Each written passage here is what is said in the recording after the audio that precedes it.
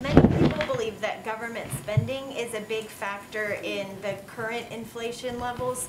Can you speak to concerns that spending plans that come out of Build Back Better aren't paid for and so could mean higher deficits and more inflation in the future? Aren't paid for?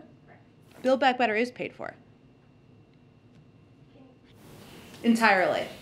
Okay.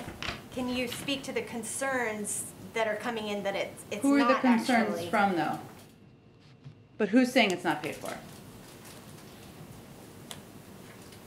Because there have been a range of economists saying it's entirely paid for. Um, and that has been a priority for the president. It has also been concluded by a number of Nobel laureates and experts from uh, a, a range of economic experts on the outside that it will not contribute to inflation. So those are the global experts uh, that we would point to, but there may be others suggesting something else, but I don't know who those people are. If those bills do pass, it will not raise taxes. Well, it, something being entirely paid for means that part of that is the highest income Americans, highest uh, that companies would be asked to pay a little bit more. Uh, that has been part of the proposal and part of reforming the tax system to make it more fair. So they're also not expected to contribute to future inflation then? The Build Back Better bill, again, it's fully paid for. We would point to Nobel laureates and a range of global economists who have conveyed that it would not contribute to inflationary pressures. Go ahead. Thanks, Jen. Uh, I wanted to ask about the impact that President Biden's experience in foreign policy has on the, his handling of the current situation with Russia and Ukraine. Obviously, he served on the Senate Foreign Relations Committee. He was vice president when Russia invaded Crimea. He oversaw the end of the war in Afghanistan last year. Can you just talk about how those various experiences have informed his decision-making and his thinking on the situation currently with Russia and Ukraine?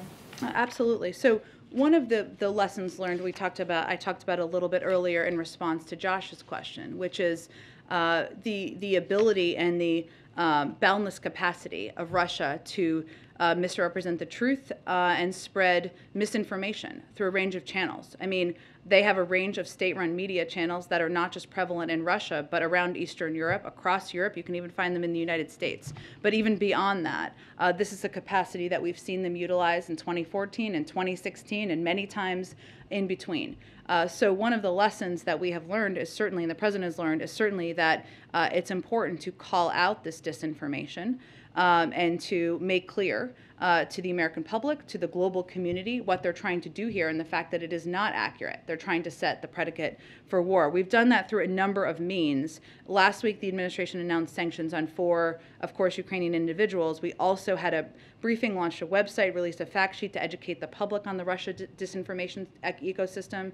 The FBI and DHS are coordinated with the intelligence community as well as state and local partners to ensure a common understanding of Russia disinformation and influence activities related to the situation in Ukraine. Uh, so that's one part. I'd also say that for the president, and this has been a priority for him since he came into office, building up our alliances and partnerships uh, with the global community, ensuring that close coordination is uh, front and center and is a priority, uh, is something that he has learned uh, through his time in uh, foreign policy as the former chair of the of the Foreign Relations Committee. Of course, as vice president, is imperative, and we believe that's proving to be very effective at this point in time. We've had more than 100, probably way more than that at this point, engagements with NATO partners, allies around the world, um, and we have a coordinated and strong um, uh, you know, approach to how we're approaching the buildup of troops on the border uh, of Ukraine. So uh, there are many lessons, but I would say those are two of the biggest ones.